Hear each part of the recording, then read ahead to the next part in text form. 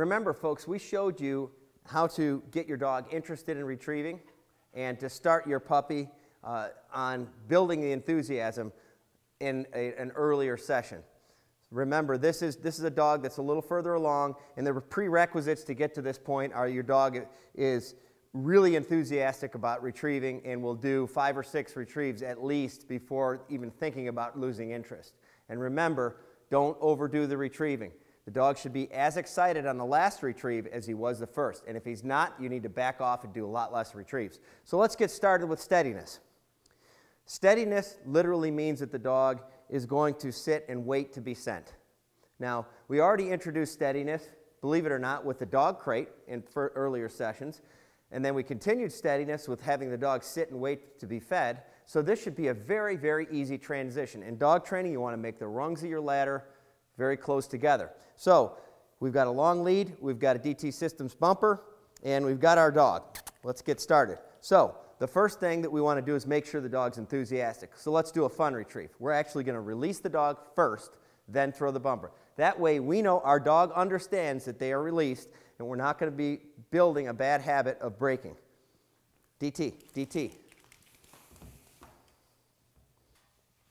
Atta boy. Okay. Okay. Good boy. Good boy. All right. Good. Good. Sit.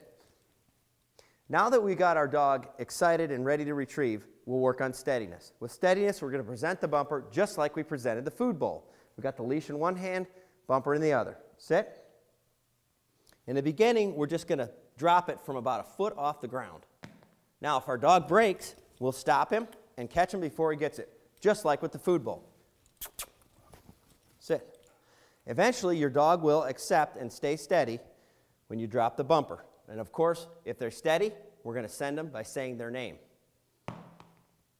DT. Okay, what a dog, what a dog, what a dog, what a dog. Good. Guys, this is a very simple transition. Now that we have the dog doing that, we're just going to extend the retrieve to longer and longer and longer distances.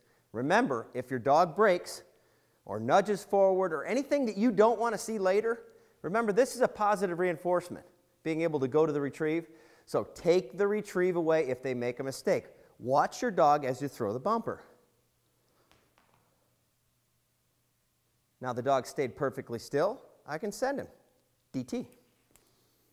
Good boy. Good boy. Good boy, buddy. Good boy. And don't worry if they drop it, folks. Just don't let them go back after it. If the dog drops it as they're coming back in, just reel them in and show them they're not going to have any more fun if they drop the bumper. If they're willing to hold the bumper, bring them in. Don't take the bumper right away. Good boy. And let them know that holding it is what we want. Good. Sit. As your dog progresses with this, you can add all kinds of different elements of distraction. For instance, you could blow a duck call. You could make all kinds of different noises. You can, you can really work on getting the dog to decipher other noises, including other words, from their own name or the release command. So let's just show you how. Sit. Let's work on teaching our dog to decipher his name from other words. One, two. Okay, the dog just made a motion, so we're going to stop him, sit. I don't want him to do that every time a bird falls.